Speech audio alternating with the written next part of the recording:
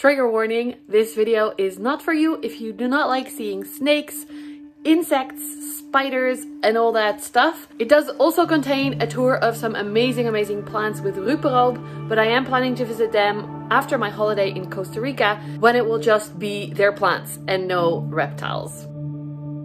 Hello everyone, welcome back to my channel. I hope you can hear me because I'm at a big fair full of plants and also reptiles and stuff. If you're new here, my name is Roos. My pronouns are she, her. You can find me on Instagram here. And I thought I would just show you some of the bits and pieces because I just walked in and I already saw snakes for the first time, IRL, and huge insecty buggy things.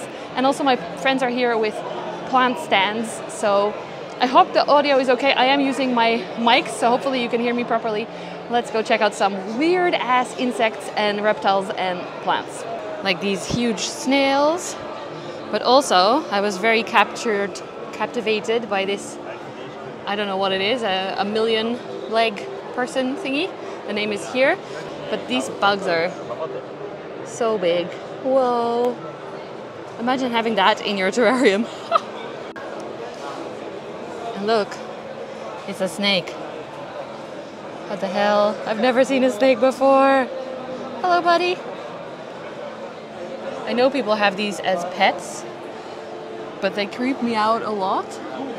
But also they fascinate me. Look how beautiful that is though.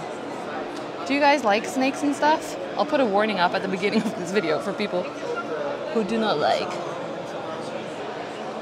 Look, so many snaky babies. And one of my friends who is a biologist and a reptile expert, she said it looks maybe sad because they're in such small boxes, but they actually feel much more safe in a small box than they do in a big space. And look at these guys. Bearded dragons or something? Hello, buddy. Look at these turtles. They are so beautiful. markings and everything. Little babies. We have chameleons. First time seeing a chameleon IRL. Look at them. I have to admit that seeing those chameleons in the tiny boxes trying to get out is a little bit upsetting.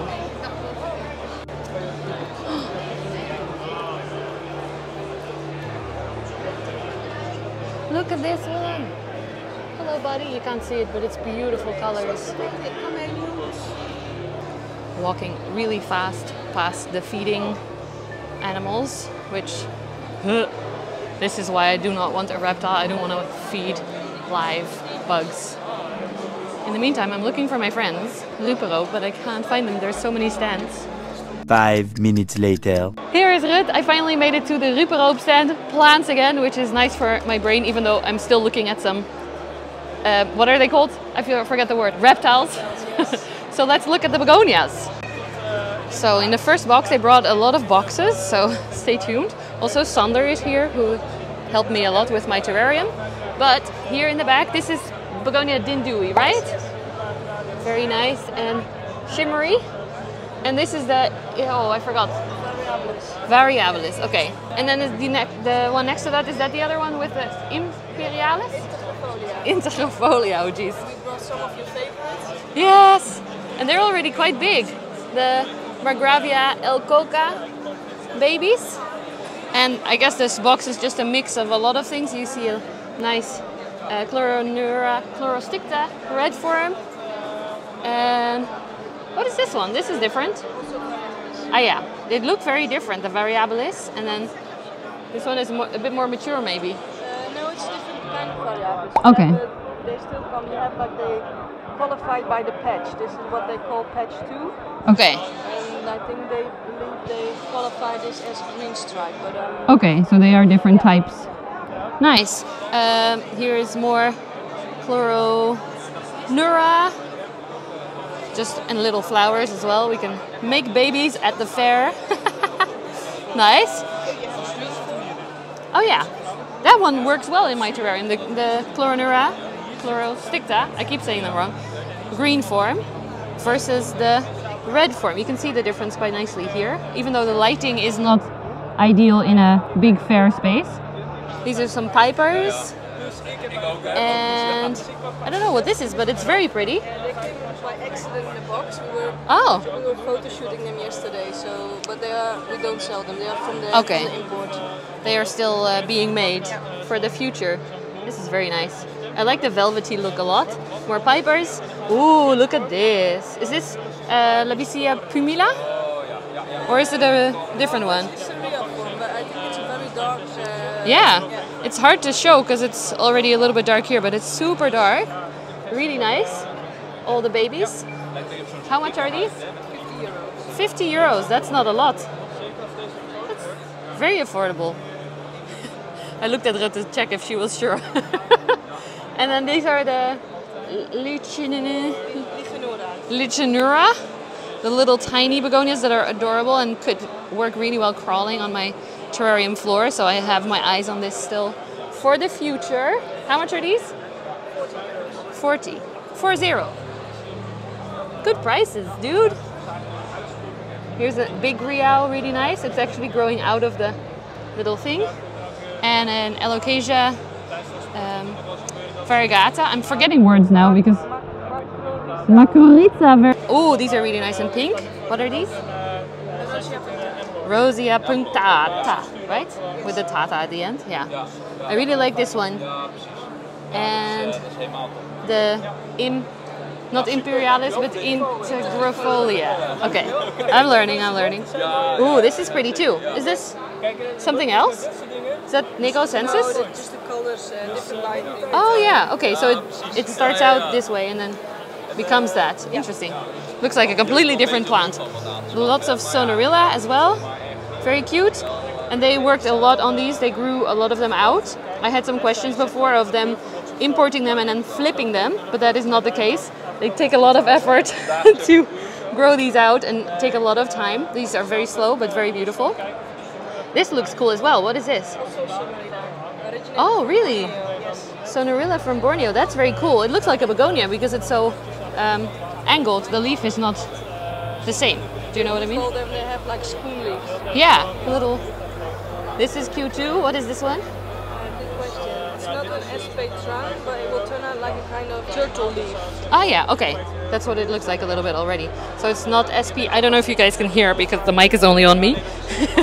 but it's like an SP trunk, a little bit like a turtle leaf. This is also variabilis. I always like these leaves, but then when they go like this, I'm kind of over it. Whoops. Uh, more Dindui, more Labisia, which are now actually Emblemantha, right? Yeah, the Manta. Yeah, I, the second part I forgot, I, I but say to the people I will just use name, but this is the original. yeah, beautiful. And look at this one. They're growing nicely. Still going well. Ooh, and a little Dracopelta down here. Look at that, so cute. That's the Kapuas Hulu, it's very popular at the moment. This one? Ah, how did you say the name was? Kapuas Hulu. Kopoas Hulu. I'm repeating everything you say just to make sure that the mics are okay. The next box is again full of lots of different beautiful leaves. I spot a species China, I think. I have that in my terrarium from uh, from him. Ooh, and a little Chloroneura, which I keep saying wrong, but this is an actual Chloroneura. They have been cut around the same time as you made your cuttings. Yeah, they're they're growing a little bit faster than mine then. And what's this one? Do you know? Is this a Melanobullata? Nice. More. Oh geez, I already forgot again.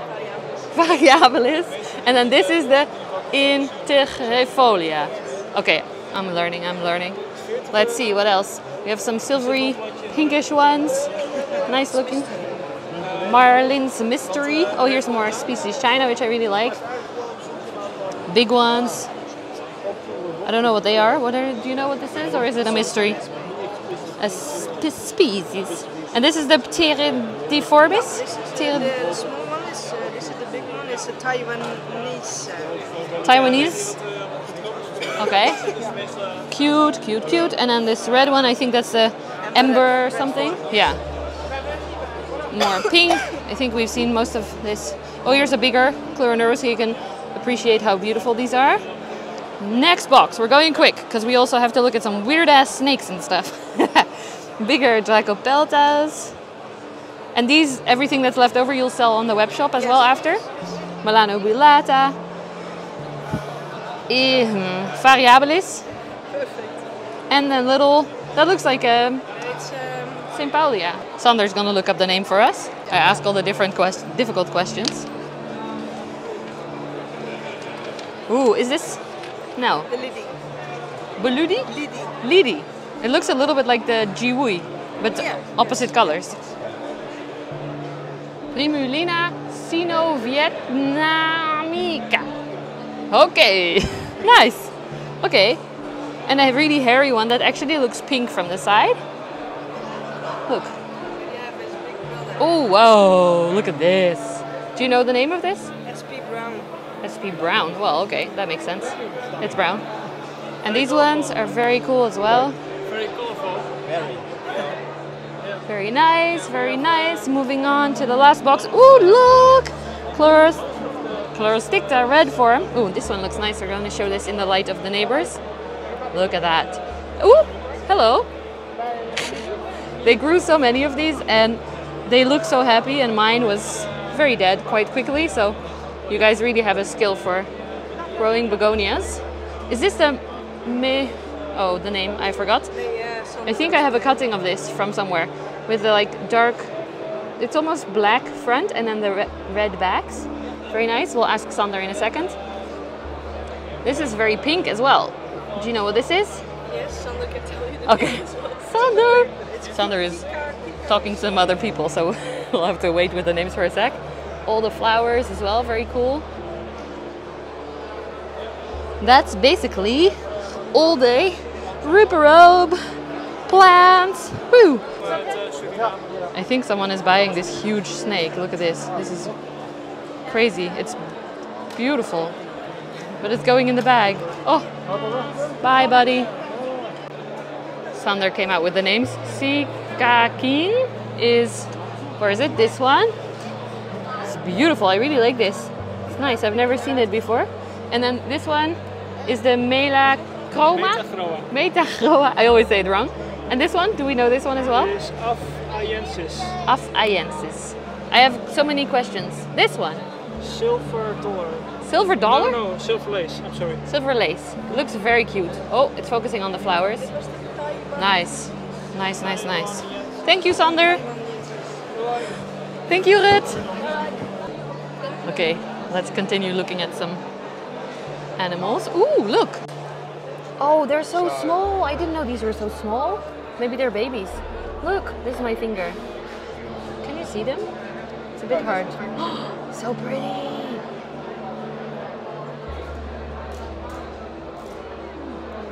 Oh, these would look cool in my terrarium.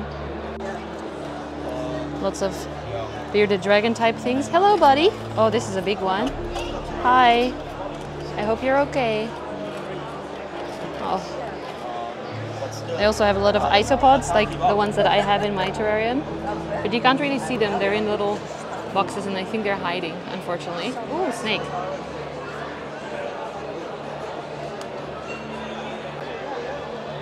Plants again. That makes me happy. I have a lot of cool stuff like moss, but also begonias and hoyas, Hoya imbricata right here, and aroids as well. They have a lot.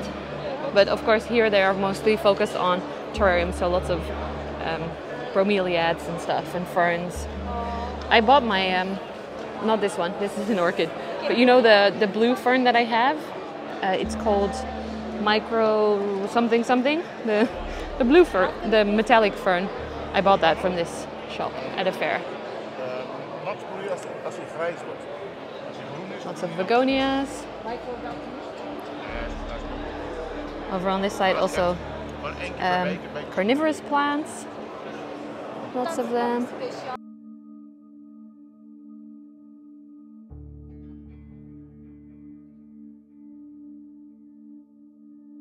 Big ones. Ooh, holy shit. We have to look from the other side. Look at this leaf. You can't even see it because it's far away, but it is the biggest Cupria leaf I've ever seen. And I actually just spoke to the owner and he told me it's a different form, which is why it gets so big. So that might be why mine is not like that at all.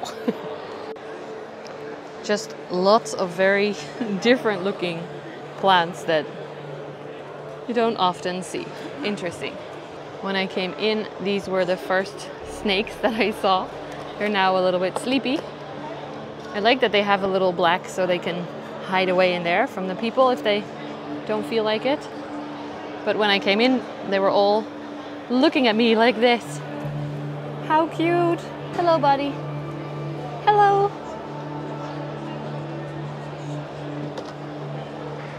I never saw these before in real life, and I actually do agree that they do look very cute, which I never thought I would say. So, there we go. Mission accomplished. I saw snakes. Ha. I was looking at the cool terrarium plants and stuff, like they have all the, the sticks and everything, and I realized it's Terra Tete, who I already contacted before about growing moss for the terrariums, which unfortunately wasn't super successful in my case because my tank is a little bit too dry. But they have some very cute and tricky plants. Look! Favorite. And all the little orchids and ferns and stuff. And then all the terrarium fancy things to make it look nice. I should have gotten a few of these for mine to make it, the waterfall would look a lot cooler with this. And look, a stick with moss on it, very nice. This one is also really pretty. So yeah, very nice.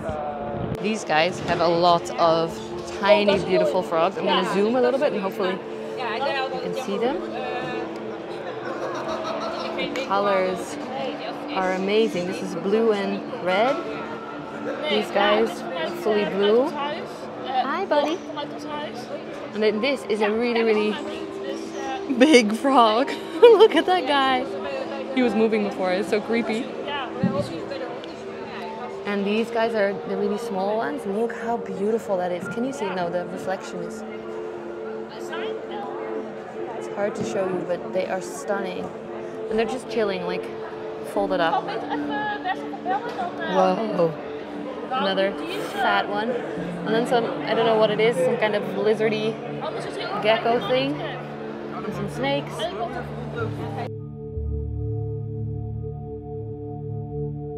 Warning, if you are scared of spiders, skip this part, because I'm gonna film some spiders. Maar bij de chameleon in Tilburg hebben ze allemaal wel. Maar ja, dat is best wel I don't know what that means. Brachypelma. But they are big ass spiders. Look at this guy. Can you see him? Wow. More froggy babies as well.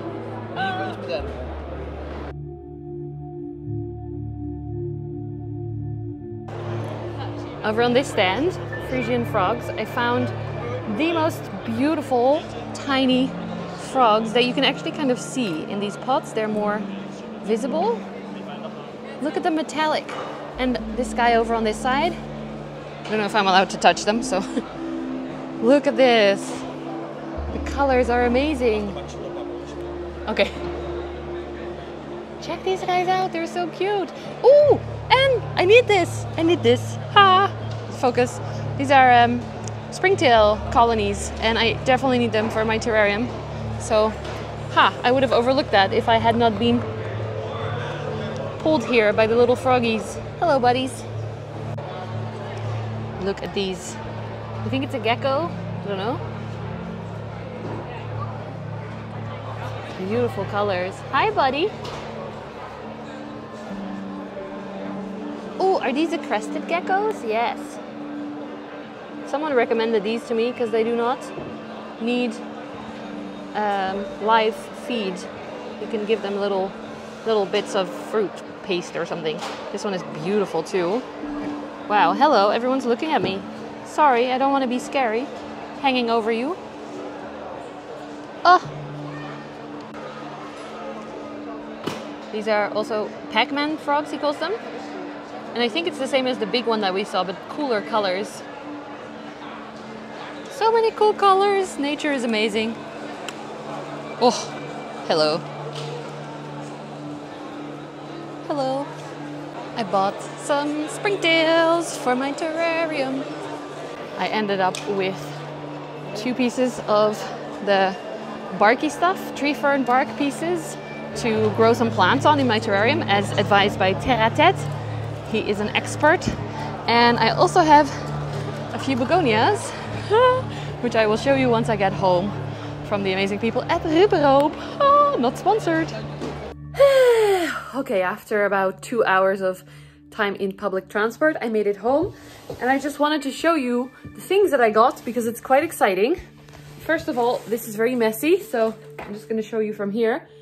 I got some pieces of tree fern, tree fern pieces for in the terrarium. According to Terra Tête, they hold a lot more moisture, so when I put them in there, I can plant some more plants that need some more high Maggie! High humidity. And also, I just got home. I haven't even seen the cats yet. Hi, my baby. Hi. Hi. Oh. So I can plant some plants on the tree fern bark that need more humidity and then they can hopefully survive in the terrarium. So I'm to build those in. Then I'm to turn you around for the plants. Not just plants. These are my springtails. Can you see them? They're to make my terrarium healthy and happy. So many of them. Really nice culture. Then three, four plants. I'm so blessed and lucky. Look at this first. This is a type of Sonerila, just species. They didn't know what it was. The backs are very purple and apparently it's very nice to grow in a terrarium. And it has little flowers as well, a little hairy plant. Then, let's see. This is a Chlorosticta red form again, which I had a tiny baby, but I killed it. And I got a new one. Pretty big and happy. I think I'm going to keep it in, not in the big terrarium for a little while to see how it settles. And then maybe I can take a propagation and put that in the big terrarium. Just to make sure that I keep it alive this time. The red is so beautiful against the light as well. Anyway, moving on. this next one, I forgot the name. But it's a small one of one of the ones that I showed you on the tour. And I don't know if I can show you, but it's so silvery. These leaves are more crystally than a crystallinum. So this gets quite big leaves, but it should grow nicely on the terrarium floor. And it also will get a little bit of pink on the silver when I give it enough light. So we have to find a nice spot for it. And it seems to be two plants together and a bit of moss as well. And then lastly, I have this one, which I got from Sander, my friend that was there. He gave me a tiny baby propagation of a Begonia rajah, which was definitely on my wish list. It's still very small, but I like it that way because then it gives you extra satisfaction when it grows out. I think I'm also going to keep this in the separate, um, not the big tank for now, to make sure that it grows out nicely. And I can't wait to see it mature. Definitely look this up as a mature plant because it looks so beautiful. I like it. Now let's say hello to the cats. Hello, Maggie. I missed you, my baby. I'm so happy to see some fluffy animals again after that whole day of reptiles and, and frogs and all the weirdo animals and creepy spiders and yeah, I definitely prefer simple fluffy cats and dogs. Hi! It's been a few days since I was at the fair and I have contacted some of my friends and reptile experts to check if what I was feeling was correct and they did say even though the animals do feel safer in smaller boxes, it does give them a lot of stress and it is really kind of sad at the fairs. The being dragged all over the place in the small boxes. Not necessarily that the small boxes are an issue, but they don't have anywhere to hide because the, the tops are see-through and they are not protected from the light, the people, the loud noises. So I did feel that right. It was fascinating to see. I really am glad that I went and that I saw these animals IRL for the first time. But it also was a little bit sad to see and to realize how many of those animals were just being dragged from fair to fair in the little boxes. Sterin, one of the people that I reached out to, said that there is actually a really good shop in Breda. I think it's called De Aarde, which is a reptile shop where you can see the animals in their natural state, where they're not stressed and where they're taken care of very well. So if you're interested in that, I could do a video there. Let me know in the comments. I'm by no means going to be a reptile channel. I'm all about the plants and the fluffy animals, but I thought it would be maybe nice to show you what it could be like. So let me know what you think. Thank you so much for watching. I hope you enjoyed this video. I hope it wasn't too creepy. I'm getting kisses. This is really nice. Thank you, Mickey. Mwah. If you enjoyed it, please give the video a thumbs up. Subscribe to my channel if you haven't already. Hit it down below. Mickey, don't attack me. I selected a few more videos for you to watch if you want to watch more planty content, a little bit more planty than this one probably. And I will see you again very soon. Thanks so much, friends. Thanks for hanging out with me. Bye!